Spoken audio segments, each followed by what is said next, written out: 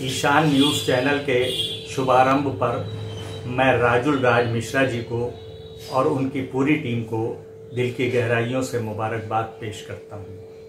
एक ऐसे समाज में जहाँ झूठ को सच और सच को झूठ बनाकर पेश करना फ़ैशन बन चुका है, इसे हुनर समझा जाने लगा है। ऐसे माहौल में राजुल राज मिश्रा जी ने अहद किया है जो दिल पे गुजरती है रकम करते रहेंगे। हम परवरिश लोह कलम करते रहेंगे। मैं उनके इस जज्बे को सलाम पेश करता हूँ।